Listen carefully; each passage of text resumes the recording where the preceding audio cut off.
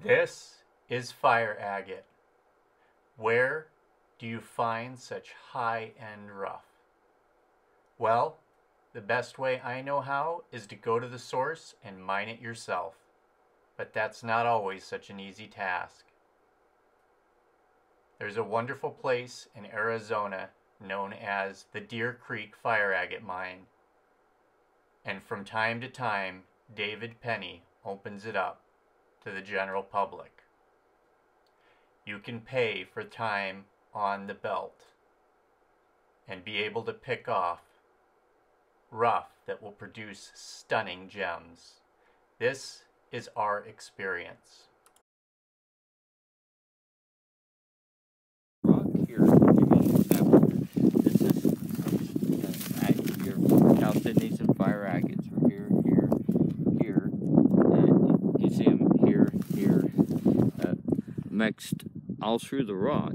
Yes. Now, um, we have to actually mine this out and allow the rock to decompose natural in nature, which which then the rock becomes like this, and which has actually just turned to powder dust, and the agates then come out of out of there uh, in in uh, complete and natural form, and and uh, are undamaged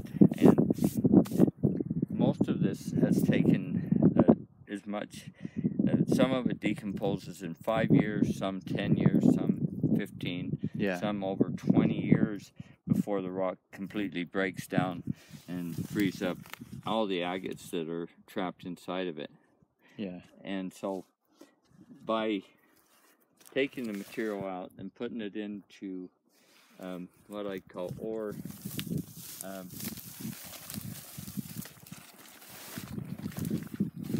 reserves and stuff like that, then it's allowed to to come out, and then the dirt itself will just fall through the machine. You never have to see the dirt again, and then all what you've got is the uh, uh, high-end agates.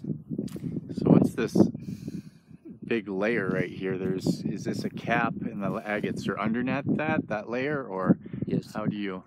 In, in uh, what occurred here was this is a, a volcanic flow that uh, cooled very slowly and, and then shattered because it actually cooled quick enough to shatter like a marble would in a furnace.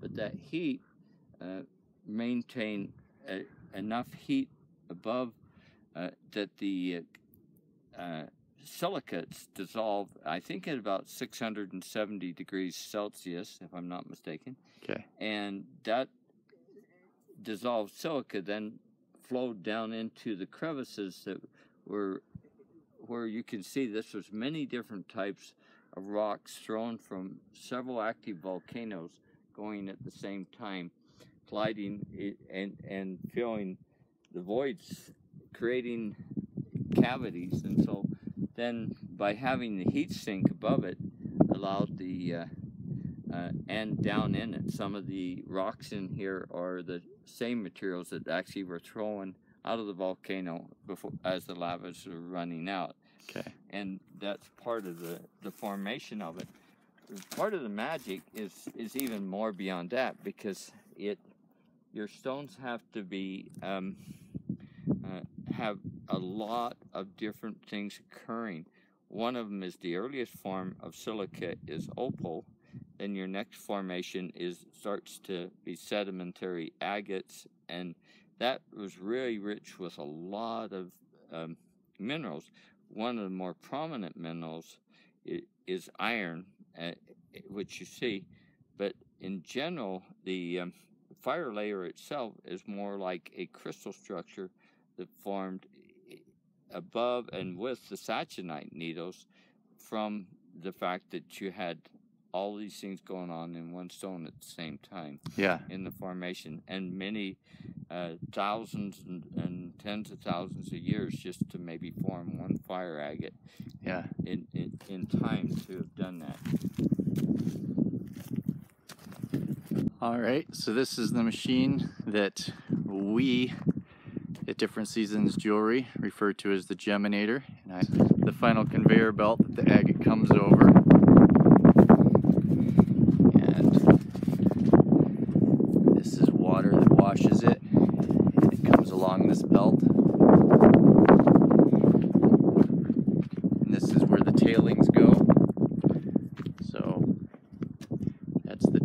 Of what was produced. And then on the other end here, this is the wash. This is the screen stuff that is so small that most likely fire agate isn't in it. If it is, it's so small that it's not really going to be useful for jewelry grade. And that's the clean muck that comes off of it. And here's the modified machine. As you can see, there's a grate up top to eliminate the very, very big rocks, but some fairly large sized chunks come through, as you've seen in the other videos or other parts of this video. There we go, the Geminator.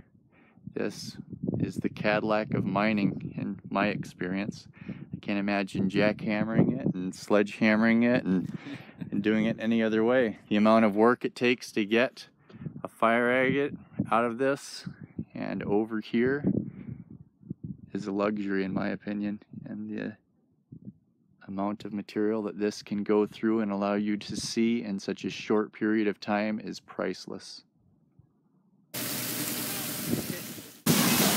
Here it comes.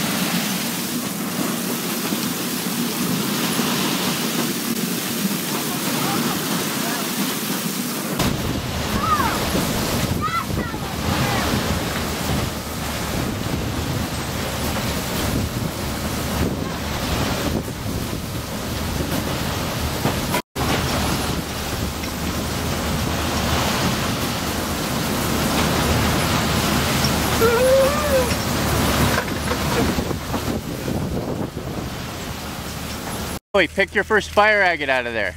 Okay. Find one.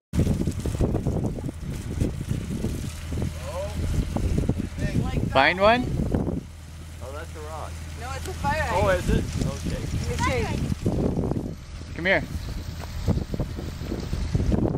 Yep. It's got fire too. Little teeny fire agate. It's mostly gold, but it's got...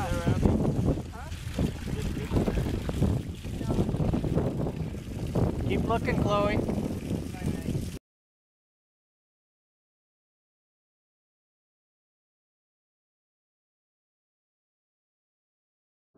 All right, so what you're showing me right now is a Deer Creek fire agate that you and your daughter Tina cut. Can you tell me a little bit about that and how old she was and everything when she helped you with that gem? She's mainly started cutting um, around 14. She was actually demonstrating cut, uh, cutting fire agates when she was um, 11 years old at, at the gem shells. And my, my other daughter, Desiree, she was uh, nine years old when she was demonstrating the uh, cutting fire agates. So it's not not a situation that uh, takes a um, uh, it, it just takes patience and and uh, the love for for the product that really makes a difference on uh, what you can achieve and if you're going to be able to create a, a, magnificent gem in fire agate. I agree. This is another piece that Tina did when she was a teenager. And uh, um, uh, this particular piece, I usually did most of the hard sign and windowing all the time. It's another and, uh, magnificent gem. But I uh, and I would sometimes do the polishing because polishing is, is, is just more tedious time and stuff like that. But dexterity um, uh, is is um, one of the, one of the most uh, critical parts in it is is just to be able to have uh, good control and and learn how to follow the particular uh, bands of fire um, and, uh, uh, and and see where where you want to go and then realize what kind of a grits you want to to use. And one of the main things is on fire agate is to um, never touch the fire, um, even the top of the fire, with any, anything much coarser than 400 or or 600 grit diamond. Um, if you do, the uh, grit size can actually go deep enough into the the fire bands that you, by the time you polish the scratch out uh, from that, you you you will have burned through a lot of the fire. Oh. Yeah, this one keeps me up at night. yeah. Beautiful gem. hmm Yeah, I got a great blue right Oh, here. that's not right there. Mhm.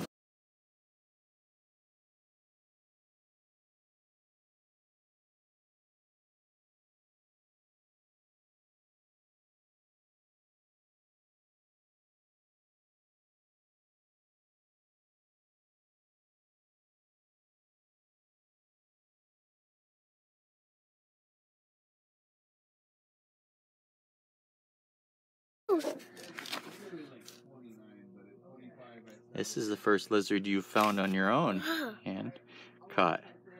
What do you think? I've caught my first one on my own. I found my first one on my own, mommy. Okay, let's keep it low. Keep it low. Hey, hey, hey, hey, hey, hey! It's okay. Here. Can you put it in the sunlight so we can see it in the sun? Aw. Chloe's first lizard. Oh,